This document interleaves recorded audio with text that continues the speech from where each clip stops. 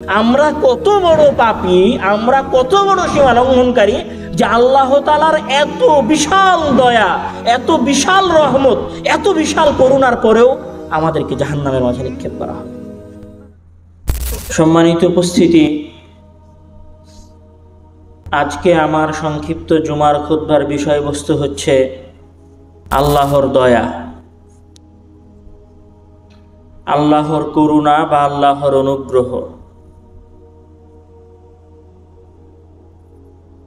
আল্লাহর যে দয়া আছে আপনার প্রতি, আল্লাহ তারা যে আপনার প্রতি করুণা বা অনুগ্রহ করে রেখেছেন, এটা একজন মানুষের বোঝা অতীব জরুরি।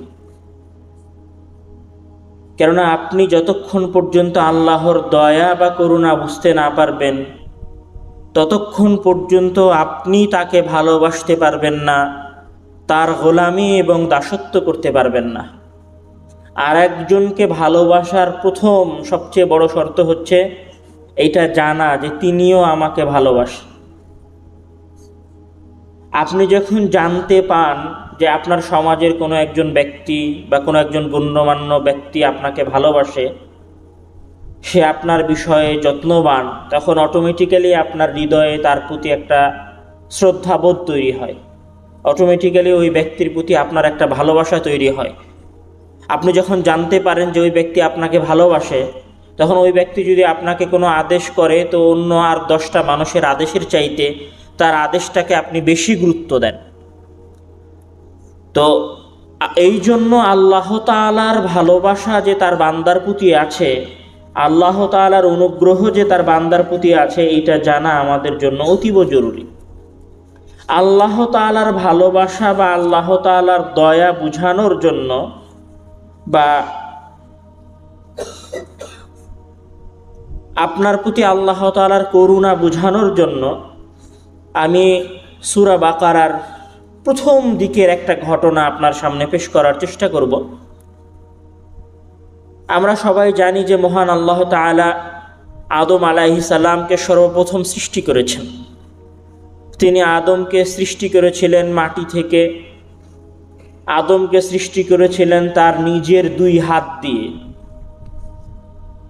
তো মহান আল্লাহ তালা আদম আলাহি সালামকে সৃষ্টি করার এই ঘটনা এবং এই প্রেক্ষাপট মানুষের সামনে কোরআনের মধ্যে উপস্থাপন করেছেন এবং সেটা সুরা বাকারার একদম শুরুর দিকে আছে أعوذ بالله من الشيطان الرجيم بسم الله الرحمن الرحيم وإذ قال ربك للملائكة إني جاعل في الأرض خليفة قالوا أتجعل فيها من يفسد فيها ويسفك الدماء ونحن نسبح بحمدك ونقدس لك মহান আল্লাহ তালা ফেরিস্তাদেরকে একত্রিত করে ফেরিস্তাদের সামনে বলছেন যে ইন্নি জাইলুম ফিল আরদে খালিফা হে আমার ফেরিস্তা মণ্ডলীরা আমি পৃথিবীতে আমার প্রতিনিধি পাঠাতে চাই জাইলুম ফিল আরদে খালিফা, আমি পৃথিবীতে আমার প্রতিনিধি পাঠাবো। এখানে এখানে বাক্যটা চিন্তা করার মতো যে আল্লাহ তালা আপনাকে তার প্রতিনিধি হিসেবে। আমাদের দেশে খলিফা হওয়ার রেওয়াজ আছে যে উমুক ব্যক্তি উমুক পীরের খলিফা উমুক ব্যক্তি উমুক পীরের খলিফা। তো আল্লাহ তালা বলছেন যে তোমরা কেউ কারও খলিফা নও আর তোমাদের কারও কাছে কারও খলিফাত নাই।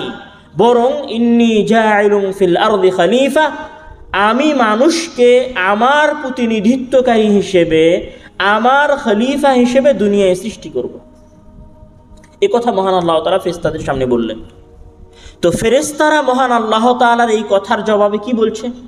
ফেরেস্তারা মহান আল্লাহ তালার এই কথার জবাবে বলছে আতা জালু ফিহা মাইয়ুফসিদু ফিহা ওয়াসফিকুদ্দিমা আপনি কি চাচ্ছেন যে দুনিয়ায় আপনি এমন একটা জাতি সৃষ্টি করবেন, যারা ওখানে গিয়ে ফাসাদ তৈরি করবে, যারা ওখানে গিয়ে মারামারি করবে ওয়াসফিকুদ্দিমা এবং তারা সেখানে গিয়ে রক্ত প্রবাহিত করবে? আপনি কি এরকম একটা কম এরকম একটা জাতি আপনি দুনিয়ায় দিতে চাচ্ছেন?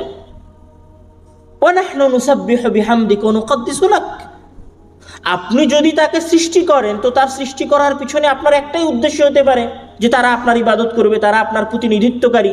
তারা আপনার দাস, তারা আপনার গোলাম হবে।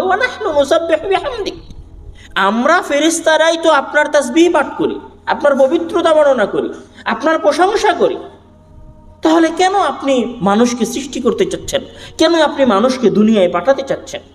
তখন মহান আল্লাহ তাআলা বলছেন যে, ইন্নি হে আমার ফেরেশতারা, আমি যা জানি তোমরা তা জানো না। মহান আল্লাহ তালা ফেরেশতাদের সামনে বললেন, আপনার জন্য একটা বাক্য বললেন, আপনার জন্য একটা শব্দ বললেন যে আপনি হচ্ছেন তার খলিফা, তার প্রতিনিধিত্বকারী। দুই, ফেরেশতাদের সামনে যখন এই কথা বললেন, তখন ফেরেশতারা মহান আল্লাহ তাআলার এই পরামর্শর সাথে একমত পোষণ করল না। বলল যে, আমরাই তো আপনার তাসবি পাঠ করি, তাহলে মানুষকে সৃষ্টি করার কি দরকার? মহান আল্লাহ তালা ফেরেশতাদের এই পরামর্শ শুনলেন না। মহান আল্লাহ তালা আদম আলাহি সালামকে সৃষ্টি করলেন। আদম আলাহি সালামকে সৃষ্টি করলেন, নিজের দুই হাত দিয়ে সৃষ্টি করলেন। হাদিসের এবং কোরআনের স্পষ্ট ভাষা, খালাক্তুকা বিয়াদাইয়া মানে আমি তোমাকে আমার নিজের দুই হাত দিয়ে সৃষ্টি করেছি। এ কথা বলার পরে এবার মহান আল্লাহ তাআলা وعلم آدم الأسماء كلها ثم عرضهم على الملائكة فقال أنبئوني بأسماء هؤلاء إن كنتم صادقين قالوا سبحانك لا علم لنا إلا ما علمتنا إنك أنت الغفور الرحيم إلا ما علمتنا إنك أنت العليم الحكيم মহান আল্লাহ তালা এবার আদমকে সৃষ্টি করলেন। তো আদমকে সৃষ্টি করে মহান আল্লাহ তালা আদমের মর্যাদা বা মানুষের মর্যাদাটাকে মহান আল্লাহ তালা ওই নিজের হাতে সৃষ্টি করার মধ্যে সীমাবদ্ধ করেননি। বরং মহান আল্লাহ তালা ও আল্লামা আদম আল আসমা সকল কিছুর জ্ঞান মহান আল্লাহ তালা আদম আলাহিসাল্লামকে শিখিয়ে দিলেন। আজকে আমরা যা কিছু করছি যা আবিষ্কার করছি, যা তৈরি করছি, যা কিছু গবেষণা করছি, সব কিছুর জ্ঞান মূলত মহান আল্লাহ তালা আদম আলাহি সালামকে শিখিয়ে দিয়েছিলেন। আদম আলাহি সালামকে সকল কিছুর জ্ঞান শিখিয়ে দেওয়ার পরে এবার আল্লাহ তালা দুনিয়ার সকল সৃষ্টিকে ধরেন গাছ, পাতা, ফ্যান, টেবিল, চেয়ার, ল্যাম্প বিমান উড়োজাহাজ, যা কিছু আছে সব কিছু মহান আল্লাহ তালা ফেরিস্তাদের সামনে পেশ করলেন। ফেরিস্তাদের সামনে পেশ করে বলছেন যে, তোমরা তো আমাকে আদমকে সৃষ্টি করতে নিষেধ করেছিলা। তো তোমরা বলো তো এই জিনিসগুলোর নাম আমাকে বলে দাও। এগুলো কি? তোমরা কি এগুলোর নাম বলতে পারবা? তখন ফেরিস্তারা বলছে যে আল্লামতানা। এগুলোর জ্ঞান আমাদের কাছে নাই। তখন এবার মহান আল্লাহ তাআলা ফেরেশতাদেরকে উদ্দেশ্য করে মহান আদম আলাইহিস সালামকে উদ্দেশ্য করে বলছেন ইয়া আদম আম্বিহুম বিআসমাইহিম فلما أنبأهم بأسمائهم قال ألم أق ألم أقل لكم إني أعلم غيب السماوات والأرض যখন ফেরেশতারা বলতে পারলো না ওই জিনিসগুলোর নাম তখন আল্লাহ তাআলা আদমকে বলছেন হে আদম তুমি এই জিনিসগুলোর নাম বলে দাও তো তখন আদম এবার একদিক থেকে সব কিছুর নাম ফেরিস্তাদের সামনে বলে দিল। তখন এবার মহান আল্লাহ তালা বলছেন, আলাম্মা কুল্লাকুম? হে আমার ফেরিস্তা মণ্ডলী, আমি কি তোমাদেরকে বলিনি যে গায়েবের বিষয় সম্পর্কে আমি সবচেয়ে বেশি অবগত? এই বিষয় যখন হয়ে গেল, তখন এবার আদমের সম্মানের জন্য, আদমের শ্রদ্ধার জন্য মহান আল্লাহ তালা ফেরেস্তাদেরকে উদ্দেশ্য করে বলছেন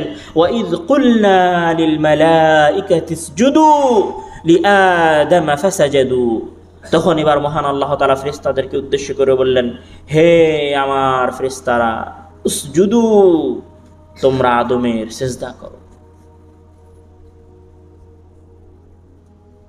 বিষয়টা একদম, আসলে একদম স্বাভাবিক নয়। মহান আল্লাহ তাআলা কে আপনার জন্য প্রথম যে গুণের কথা বলেছেন, সেটি হচ্ছে যে আপনি পৃথিবীর সবচেয়ে শক্তিশালী, সবচেয়ে ক্ষমতাধর, মালিকুল আমলাক, রাজাধিরাজ, সকল ক্ষমতার যিনি উৎস, আপনি তার প্রতিনিধি। আপনি যেমন কোম্পানির পক্ষ থেকে এই কোম্পানির একজন প্রতিনিধি, এই কোম্পানির একজন দায়িত্বশীল, আপনি যেমন এই কোম্পানির একজন কর্মী তেমন সকল কিছুর ওপরে আপনি হচ্ছেন আল্লাহ তালার প্রতিনিধি, আল্লাহ তালার একজন কর্মী, আল্লাহ তালার একজন দাস, আল্লাহ তালার একজন গোলাম। যে গোলামকে মহান আল্লাহ তালা নিজ হাতে সৃষ্টি করেছেন, নিজ হাতে সৃষ্টি করার পরে সকল কিছুর জ্ঞান শিখিয়ে দিয়েছেন, সকল কিছুর জ্ঞান শিখিয়ে দেওয়ার পরে ফেরেস্তারা যে আপনাকে সৃষ্টির বিরোধিতা করেছিল, বলেছিল যে আমরাই তাসবি পাঠ করি, আমরাই আপনার জন্য প্রশংসা করি। আর মানুষকে সৃষ্টি করার কি দরকার? তখন আল্লাহ তালা মানুষের শ্রেষ্ঠত্ব জ্ঞানের মাধ্যমে প্রকাশ করে ফেরেস্তাদেরকে উদ্দেশ্য করে বললেন উসজুদুল আদম, তোমরা আদমের চেষ্টা করো। আর মহান আল্লাহ তালা সেজদার পরে সকল মানুষের জন্য আরেকজন মানুষের সেজদাকে হারাম করে দিয়েছেন এখানে সেজদার কথাটা আরেকটু বলি যে, সেজদার মাধ্যমে সম্মান প্রকাশ পায়, সেজদার মাধ্যমে দাসত্ব প্রকাশ পায়, সেজদার মাধ্যমে সম্ভাষণ বা অভিবাদন প্রকাশ পায়। কিন্তু মহান আল্লাহ তালা সকল ধরনের সেজদাকেই মানুষের জন্য হারাম করেছেন। কিন্তু এই সেজদাটাই মহান আল্লাহ তালা ফেরেস্তাদেরকে দিয়ে করিয়ে নিয়েছিলেন আদম আলাহি সালামের জন্য।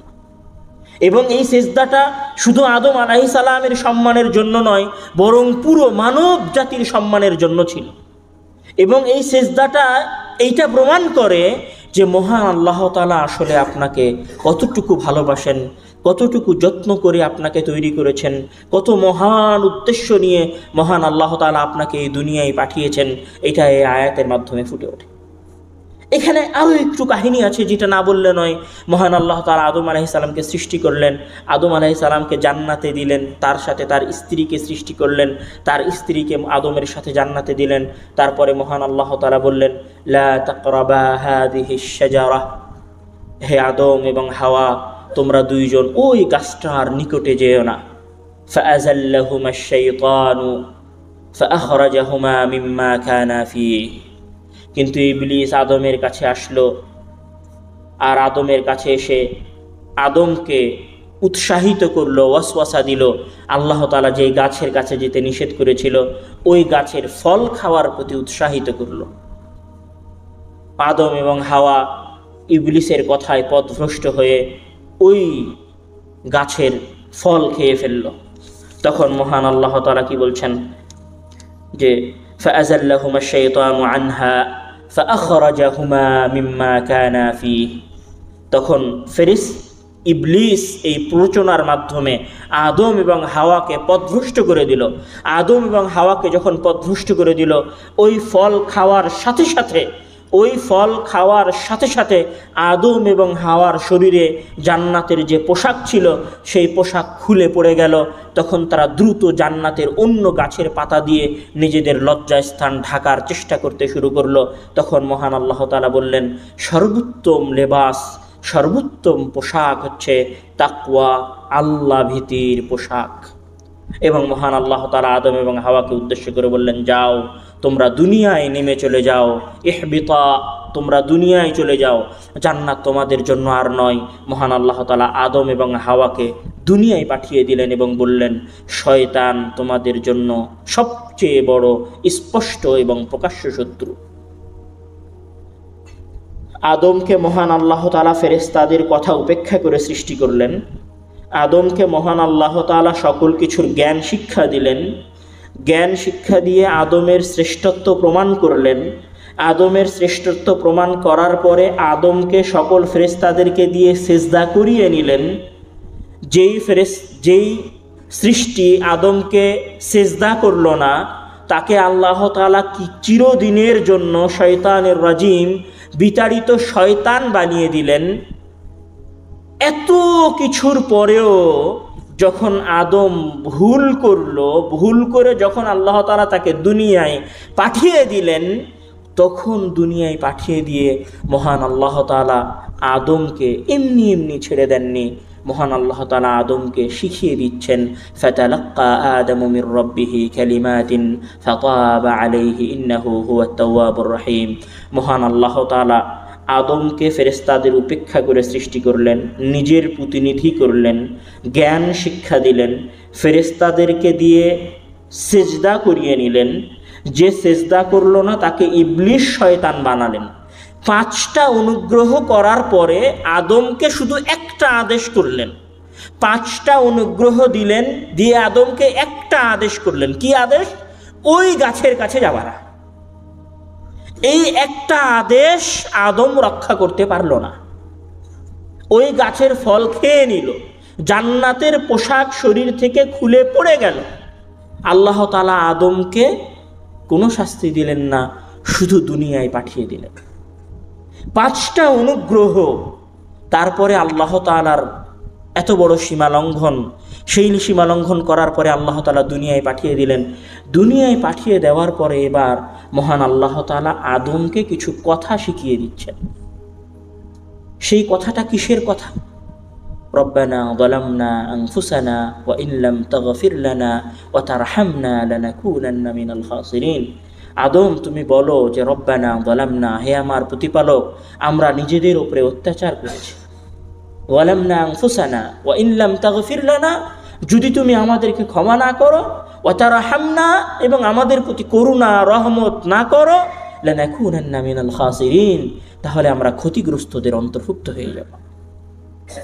মানে আমি এখানে যে বিষয়টা আপনাকে ফুটাতে চাচ্ছি, যে পাঁচটা অনুগ্রহ, তারপর একটা আদেশ, সেই আদেশের আবার লঙ্ঘন, সেই আদেশের লঙ্ঘন যদি আমাদের মতো মানুষের সাথে হতো, আমরা ওই মানুষকে চিরদিনের জন্য ভুলে যেতাম। তোর সাথে আর কোনো কথাই নাই, তোর সাথে আর কোনো সম্পর্কই নাই। আমি তোর জন্য এত কিছু করলাম আর তুই আমার একটা কথা শুনলি না, যা, তোর সাথে সম্পর্ক শেষ। কিন্তু আল্লাহ তালা তা করেন আল্লাহ তালা আদমকে শিক্ষা দিচ্ছেন। কি শিখিয়ে দিচ্ছেন? আদম যে ভুলটা করেছে, সেই ভুলটা থেকে আদম কীভাবে মুক্তি পাবে, কীভাবে ওই ভুলের অনুশোচনা করবে, কীভাবে আল্লাহর দয়া এবং আল্লাহর কাছে ক্ষমা প্রার্থনা করবে, সেই বাক্য মহান আল্লাহ তালা আদমকে আবার শিখিয়ে দিচ্ছেন। এটা হচ্ছে আল্লাহ তালার দয়া এবং আল্লাহ তালার করুণার সবচেয়ে বড় প্রমাণ।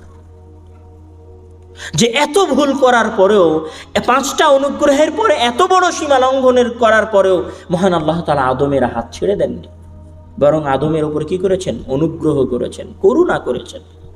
এইরকম আরও কিছু দয়া বা আরও কিছু করুণার কথা আমরা কোরআনের মধ্যে দেখতে পাব। তার মধ্যে একটা করুণার কথা আমি আপনাদের সামনে উল্লেখ করি। এইটা গেল আদম আলাহি সালাম এবং আমাদের সাথে মহান আল্লাহ তালার করুণা। মহান আল্লাহ তালার আর একটা দয়া এবং আর একটা ভালোবাসা বান্দার প্রতি, সেটা আমি একটু ফুটিয়ে তোলার চেষ্টা করি। যে একদা একজন ব্যক্তি রসুল সাল্লাহ আলহি আসাল্লামের কাছে আসলো, রাসুল সাল্লাহ আলি আসাল্লামের কাছে এসে জিজ্ঞাসা করল যে, আমরা আল্লাহ তালাকে কীভাবে ডাকবো? জোরে জোরে ডাকবো? নাকি আমরা আল্লাহ তালাকে চুপি সারে ডাকবো যে আল্লাহ তালা আমাদের কাছে আছেন? এটা একজন ব্যক্তি রাসুল সাল্লাহ আলি আসাল্লামকে এসে জিজ্ঞাসা করল। রসুন সাল্লাহ আলি আসাল্লাম চুপ হয়ে গেলেন। মানে ব্যক্তি জিজ্ঞাসা করছে যে, আমি উনাদি, আমি আমার প্রতিপালককে জোরে জোরে ডাকবো? আমার প্রতিপালককে শোনানোর জন্য? নাকি উনাদি, চুপ চুপ করে ডাকলেও আমার প্রতিপালক আমার পাশে আসেন, পাশে আছেন এবং উনি আমার কথা শুনতে পান? আমি কীভাবে ডাকবো? চুপে চুপে ডাকবো? রাসুল সাল্লাহ আলহি আসাল্লাম এই প্রশ্ন শুনে চুপ হয়ে গেলেন। এই প্রশ্নের কোনো উত্তর রাসুল সাল্লাম দিলেন না একটু পরে ওহি নাজিল হলো রসুল সাল্লাহ আলহি আসাল্লামের উপরে যে أعوذ بالله من الشيطان الرجيم وإذا سألك عبادي عني فإني قريب أجيب دعوة الداع إذا دعاني فليستجيبوا لي وليؤمنوا بي لعلهم يرشدون وإذا سألك عبادي যখন আপনাকে মানে মোহাম্মদ ইসলাম হে মোহাম্মদ যখন আপনাকে আমার বান্দা আমার সম্পর্কে জিজ্ঞাসা করে তখন ফাইন্নি করিব তখন আপনি তাকে বলে দেন, যে ফাইন্নি করিব, আমি তার নিকটেই আছি। ইদা দায়ানি যখন সে আমাকে ডাকে, তখন আমি তার ডাকে সাড়া দিই। এই জায়গার আয়াতটা স্বাভাবিক। ওয়াইদা সালাকা ইবাদি আন্নি ফাইন্নি করিব। এই আয়াতে একটু ব্যাখ্যা করলে মূল অর্থটা স্পষ্ট হবে। কোরআনের মধ্যে যে সাআলাকা মানে জিজ্ঞাসা করা, এরকম অনেক আয়াত আছে। যেমন ধরেন, রাসুল সাল্লাহ আলী আসাল্লামকে সাহাবাইকরাম জিজ্ঞাসা করছে যে ইয়াস আলু উনাকা আনিল খামর? মদ সম্পর্কে জিজ্ঞাসা করছে। তখন মহান আল্লাহ তারা বলছেন, কুল ফি হিমা ইসমুন কাবির। হে মোহাম্মদ, কুল, এটা কুল শব্দ আছে এখানে। হে মোহাম্মদ, আপনি তাদেরকে বলে দেন যে ফি হিমা ইসমুন কাবির, এতে কি আছে? খতিয়ে পাপ আছে। আর এক জায়গায় আসছে যে ওয়াস আলু নাকা আনিল ইয়াতামা তারা আপনাকে ইয়াতিম সম্পর্কে জিজ্ঞাসা করছে। কুল, হে মোহাম্মদ, আপনি বলে দেন ইসলাহুল্লাহুম খৈরু আর এক জায়গায় এসেছে যে ওয়াস আলু নাকা আনিল মাহিদ তারা আপনাকে হায়েজ সম্পর্কে জিজ্ঞাসা করছে। কুল, হে মোহাম্মদ, আপনি বলে দেন, হুয়া আদা অন্য আর এক আয়াতে আছে যে ওয়াস আলু নাকা আনির রুহ তারা আপনাকে রুহ সম্পর্কে জিজ্ঞাসা করে। কুলির রুহ, আপনি রুহকে, রুহ সম্পর্কে তাদেরকে বলেন। ওয়াস আলু নাকা আনিল জিবাল, তারা আপনাকে পাহাড় সম্পর্কে জিজ্ঞাসা করে, ফাকুল, আপনি মোহাম্মদ বলে দিন এনসিফুহা রব্বি নাসফা। তো এই সব আয়াতে আমরা যদি দেখি, তাহলে বিষয়টা হচ্ছে এরকম যে ওয়াস আলু নাকা তারা যখন আপনাকে জিজ্ঞাসা করে, যে বিষয় সম্পর্কে জিজ্ঞাসা করছে, তখন মহান আল্লাহ তালা বলছেন, কুল, হে মোহাম্মদ, আপনি বলে দেন। সব জায়গায় জিজ্ঞাসা আর জিজ্ঞাসার জবাব কোরআনে এইভাবে এসেছে। কিন্তু যখন মাত্র একটা জায়গায়, যখন বান্দা আল্লাহ তালার সম্পর্কে জিজ্ঞাসা করেছে যে আল্লাহ তালাকে কীভাবে ডাকবো, তখন আয়াতটা এসেছে যে ওয়াইদা সালাকা ইবাদি যখন আমার গোলাম, আমার দাস, আমার বান্দা আমার সম্পর্কে জিজ্ঞাসা করে তখন মহান আল্লাহ তালা অন্য অন্য আয়াতের মতো, কুল, হে মোহাম্মদ, আপনি বলে দেন, এ কথা আর বলেননি। ও, আমার বান্দা আমার সম্পর্কে জিজ্ঞাসা করেছে, মোহাম্মদ, থামেন থামেন, আপনাকে বলতে হবে না। সব জায়গায় মহান আল্লাহ তালা বলেছেন, কুল, মোহাম্মদ, আপনি বলেন যে ইসলাহুল্লাহ খয়রুন, আপনি বলেন, কুল হুয়া আদা। আপনি বলেন ফি হিমা ইসমুন কবির। সব জায়গায় আপনি মোহাম্মদ আসলামকে বলতে বলেছে কিন্তু যখনই বান্দা আল্লাহ তালার সম্পর্কে জিজ্ঞাসা করেছে, তখন এবার মহান আল্লাহ তালা মোহাম্মদ আসলামকে বলছেন, মুহাম্মদ, আপনি থামেন। ইদা সালাকা ইবাদি, আমার বান্দা আমার সম্পর্কে জিজ্ঞাসা করেছে তো, আমি নিজে উত্তর দিচ্ছি। নিশ্চয় আমি আমি আল্লাহ নিজে উত্তর দিচ্ছি। কুল মোহাম্মদ, তুমি বলো না। আমি নিজে বলছি ইন্নি করিব। নিশ্চয় আমি আমার বান্দার নিকটে আছি। ইদা সালাকা ইবাদি আন্নি যখন আমার বান্দা আমার সম্পর্কে জিজ্ঞাসা করে, মোহাম্মদ, তুমি কিছু বলিও না, আমি বলছি ইন্নি করিব, আমি আমার বান্দার নিকটে আছি। যখন সে আমাকে ডাকে, তখন আমি তার ডাকে সাড়া দিই। এই যে মহান আল্লাহ তালার প্রতি আপনার, মহান আল্লাহ তালার আপনার প্রতি ভালোবাসা, মহান আল্লাহ তালার আপনার প্রতি দয়া, মহান আল্লাহ তালার আপনার প্রতি অনুগ্রহ, মহান আল্লাহ তালার আরও একটা দয়া পাপি বান্দার প্রতি মহান আল্লাহ তালার দয়া দেখাই। পাপি মানে পৃথিবীর একদম শ্রেষ্ঠ লেভেলের পাপি বান্দার প্রতি আল্লাহ তালার কেমন দয়া, কেমন অনুগ্রহ সেটা আপনাকে দেখাই। ফেরা আউনের নাম আমরা সবাই শুনেছি। ফেরাউন হচ্ছে যে নিজেকে আল্লাহ বলে দাবি করেছিল, যে নিজেকে রব বলে দাবি করেছিল।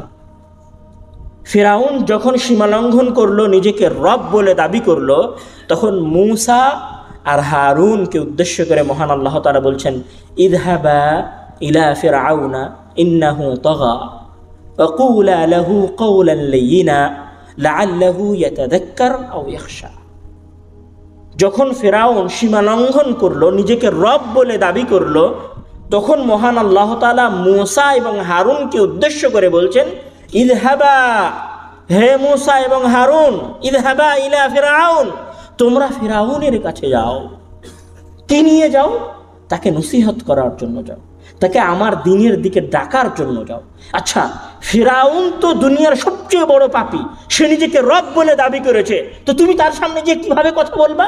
অহংকার করে, দাপটের সাথে, ক্ষমতা দিয়ে, জোর গলায়, দাম্ভিকতার সাথে কথা বলবা, কর্কশ গলায় কথা বলবা?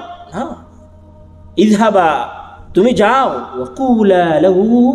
কওলাল আর ফেরাউনের সাথে নরম সুরে কথা বলো।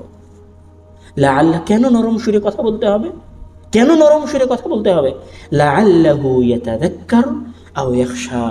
যেন ফেরাউন তোমার নরম কথা শুনে উপদেশটা গ্রহণ করে নেয় আর আমাকে ভয় পায়। আর সঠিক পথে চলে আসে। আপনি কি মনে করছেন? এই বিষয়টা থেকে আপনি কি শিখলেন? মানে মহান আল্লাহ তালা ফেরাউনের কাছে মুসা এবং হারুনকে পাঠাচ্ছেন। আর মুসা এবং হারুনকে ফেরাউনের কাছে পাঠিয়ে বলছেন যে, তোমরা দুইজন তার সাথে জোর গলায়, কর্কশ গলায় কথা বলো না, নরম গলায় কথা বলো, নরম গলায় কথা বলো, যেন সে সঠিক পথে ফিরে আসে। তাহলে মহান আল্লাহ তালা ফেরাউনেরও সঠিক পথে ফিরে আসা চান জোর গলায় তার সামনে কথা বলতে দিতে যাচ্ছেন না।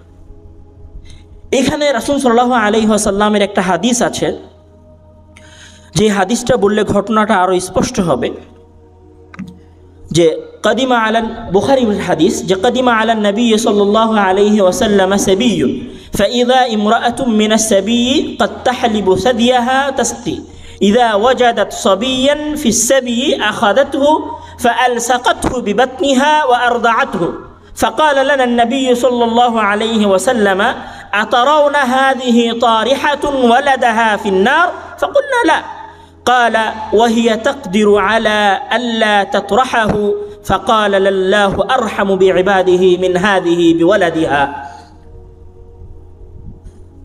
আদম রাসুল সাল্লাহ আলহি আসাল্লামের কাছে কিছু যুদ্ধবন্দীরা আসলো ওই যুদ্ধবন্দীদের মাঝে একজন মহিলাও ছিল কিছু ছোট ছোট বাচ্চারাও ছিল তো ঘটনাটা হচ্ছে এইরকম যে কোনো বাচ্চার যখন একটু সমস্যা হতো বা কোনো বাচ্চা যখন একটু কাঁদত বা দুধের প্রয়োজন হতো, তো ওই মহিলা যে কোনো একটা বাচ্চাকে ধরে নিয়ে এসে তার দুধ পান করাতো। সেটা বাচ্চাটা তার নিজের সন্তান না, তার নিজের শিশু না। অন্য মা, তারা সবাই বন্দি হয়ে এসেছে। বন্দিদের মধ্যে কারও শিশু, কারও ছোট বাচ্চা আছে, কান্নাকাটি করছে। তখন সে তাকে ধরে নিয়ে এসে ফায়াল সাকাত হ্যাঁ সে তাকে ধরে নিয়ে ফাল সাকাত হা বিবাত নিহা তার পেটে জড়িয়ে মানে পেটের সাথে লাগিয়ে, যত্ন করে পেটের সাথে লাগিয়ে আর হু ওই ছোট বাচ্চাটাকে দুধ পান করাতো। মানে এটা হচ্ছে ওই মায়ের, একজন মা, একজন শিশু বাচ্চার কষ্ট বোঝে। তো এটা হচ্ছে ওই মায়ের, ওই সন্তানের প্রতি, ওই শিশু বাচ্চার প্রতি, ওই সাধারণ অন্য আর একজন মানুষের সন্তানের প্রতি একজন মায়ের মমতা, একজন মায়ের দয়া। তখন রাসুল সাল্লাহ আলী ওসাল্লাম সাহাবাদেরকে উদ্দেশ্য করে বলছে আচ্ছা এই মহিলা কি ওই শিশু বাচ্চাটাকে আগুনের মধ্যে নিক্ষেপ করতে পারবে? সাহাবাহিকেরাম বলছেন, না, কখনো নয়। সে কোনোভাবেই ওই শিশু বাচ্চাটাকে আগুনের মধ্যে নিক্ষেপ করতে পারবে না। তখন রসুল সাল্লাহ আলি ওসাল্লাম বলছেন যে, আল্লাহ তালা তার বান্দার প্রতি, ওই মায়ের, তার সন্তানের প্রতির দয়ার চাইতে বেশি দয়াবান। মানে ওই মা তার সন্তানের প্রতি যত দয়া এবং ওই দয়ার কারণে যেমন ওই মা তার সন্তানকে আগুনের মাঝে ফেলতে পারবে না, ঠিক তেমনি আল্লাহ তালা তার দয়ার কারণে তার বান্দাদেরকে জাহান্নামের মধ্যে নিক্ষেপ করতে আপনার কি মনে হয় যে আল্লাহ তালা সবাইকে পাপি বানাবেন আর একটা করে ধরবেন আর জাহান্নামের মধ্যে ফেলবেন? সেটা এরকম নয়।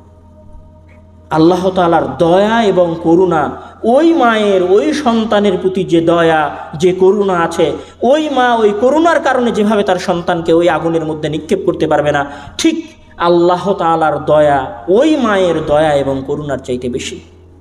তারপরেও আমাদের হাজার হাজার লক্ষ লক্ষ মানুষ জাহান নামের ওই আগুনের মাঝে নিক্ষিপ্ত হবে।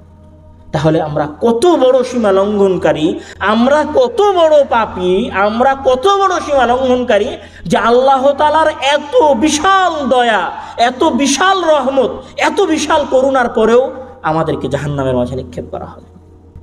এখানে আরও একটা হাদিস আছে রসুল সাল্লাহ আলি ওয়াসাল্লামের, যে রসুল সাল্লাহ আলি ওয়াসাল্লাম বলছেন যে, ইন্নালিল্লাহি মিআত রাহমাতিন, আনজালা মিনহা রাহমাতান ওয়াহিদা بين الجن والإنس والبهائم والهوام فبها يتعاطفون وبها يتراحمون وبها تعطف الوحش على ولدها وأخر الله تسعا وتسعين رحمة يرحم بها عباده يوم القيامة বলছে আল্লাহ তালার একশোটা দয়া আছে একশোটা দয়া এই একশোটা দয়ার মধ্যে মাত্র একটা দয়া মহান আল্লাহ তালা মানুষের মাঝে, জিনের মাঝে পাখ পাখালির মাঝে, পশু প্রাণীর মাঝে, গরু ছাগলের মাঝে, উট ভেড়ার মাঝে বন্টন করে দিয়েছেন। এই একটা দয়ার কারণেই আপনি আপনার পরিবারের কাছে টাকা পাঠান।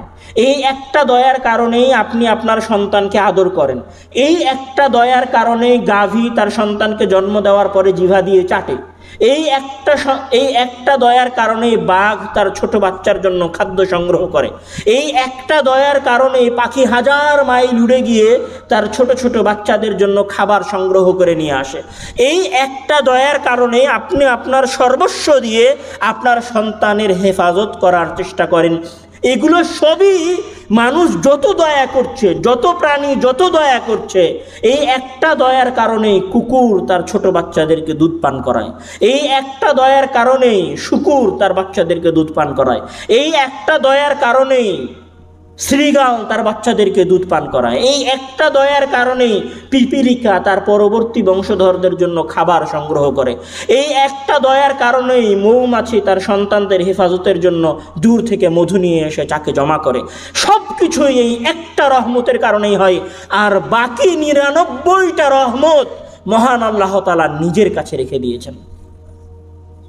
ওই নিরানব্বইটা রহমত উনি কবে নিয়ে হাজির হবেন? ওই নিরানব্বইটা রহমত নিয়ে মহান আল্লাহ তালা কেয়ামতের মাঠে হাজির হবেন। আর কেয়ামতের মাঠে বান্দাদের প্রতি আল্লাহ তালা শুধু দয়া করবেন, শুধু দয়া করবেন, শুধু অনুগ্রহ করবেন, শুধু করুণা করবেন। একটা দয়াই যদি এত কিছু হয়, তাহলে ওই নিরানব্বইটা দয়ায় কত কিছু হতে পারে? আল্লাহ তালার এত বিশাল দয়ার পরেও হাজার হাজার লক্ষ লক্ষ কোটি কোটি মানুষ আমার আপনার মতো হাজার হাজার ব্যক্তি ওই জাহান্নামের আগুনের মাঝে নিক্ষিপ্ত হবে। কেন নিক্ষিপ্ত হবে? মানে আল্লাহ তালার ওই দয়ার চাইতে আপনার পাপের পরিমাণ বেশি। আল্লাহ তালার ওই অনুগ্রহের চাইতে আপনার সীমা লঙ্ঘনের পরিমাণ বেশি। আল্লাহ তালার ওই করুণার চাইতে মহান আল্লাহ তালার আদেশ লঙ্ঘনের পরিমাণ এত বেশি এত বেশি এত বেশি যে মহান আল্লাহ তালার ওই নিরানব্বইটা দয়া থাকার পরও, এত অনুগ্রহ থাকার পরেও আপনাকে জাহান্নামে চলে যেতে হবে। এই পুরো আলোচনার যেটা সারমর্ম, সেটা হচ্ছে যে মহান আল্লাহ তালা আমাদেরকে তার প্রতিনিধি, তার খলিফা করে পাঠিয়েছেন। আমাদের সম্মান বোঝানোর জন্য তিনি আমাদেরকে সকল কিছুর নাম শিক্ষা দিয়েছেন। সেইটাতে আবার ফ্রেস্তাদেরকে দিয়ে সেজদা করিয়ে নিয়েছেন। সেইটাতে আবার যে জিন সেজদা করেনি, তাকে শেতানুর রাজিম চিরদিনের জন্য বিতাড়িত করে দিয়েছেন। তারপরেও যখন মহান আল্লাহ তালার কথা আদম আলাইসাল্লাম শোনেনি, তখন জান্নাত থেকে বের করে দিয়েছেন। তবে বের করে দেওয়ার পরে ক্ষমা প্রার্থনার কিছু কথা মহান আল্লাহ তালা শিখিয়ে দিয়েছেন। তারপরে যখন বান্দা মহান আল্লাহ তালার সম্পর্কে জিজ্ঞাসা করছে, তখন আল্লাহ তালা নিজে বান্দাকে বলছেন যে, আমি তোমার কাছে আছি।